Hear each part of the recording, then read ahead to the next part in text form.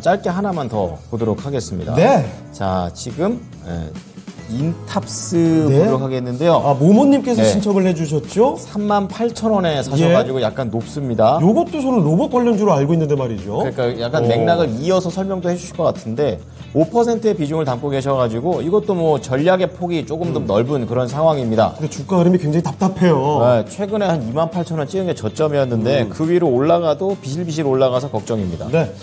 전문가님 이번에도 이제 로봇 같은 맥락으로 연결한다면 인탑스는 어떻습니까? 간단하게만 봐주시죠.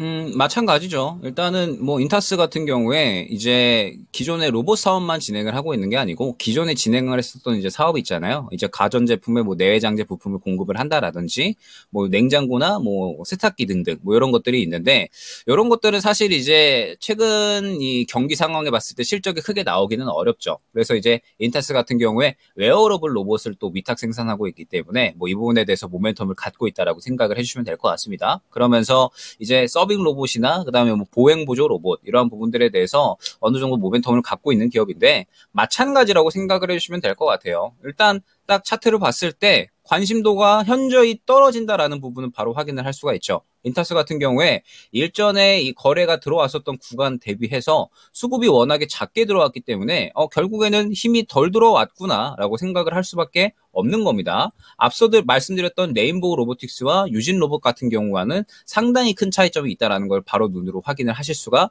있을 겁니다. 그러면서 지금 현재 구간은 어찌됐든 바닥을 잡아주는 구간이라고는 생각이 되거든요. 굳이 정리하실 필요는 없다라고 생각이 돼요. 바닥을 잡아주는 구간이기 때문에. 다만 인타스는 지금 보게 되면 매물대가 1차로 32,500원, 그 다음에 2차로 35,000원이 형성이 되어 있습니다. 즉, 이 말뜻은 무엇이냐? 올라가야 될 산이 굉장히 이 두텁게 형성이 되어 있다라는 거죠. 그래서 인탑스를 결국에는 어느 정도 잘 빠져나오기 위해서는 추가 매수 대응이 정답이다라고 저는 생각을 하고 있습니다.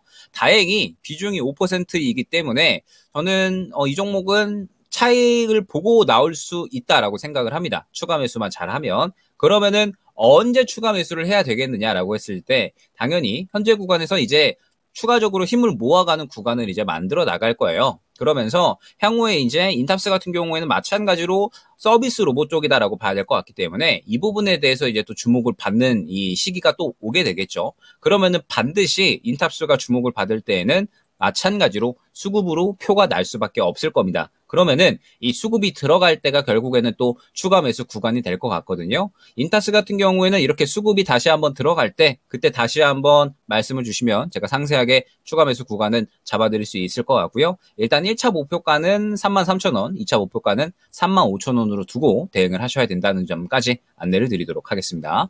네. 자, 33,000원, 35,000원 목표가 드릴 테니까 추가 매수 전략으로 함께 해 보시기 바랍니다. 자, 인터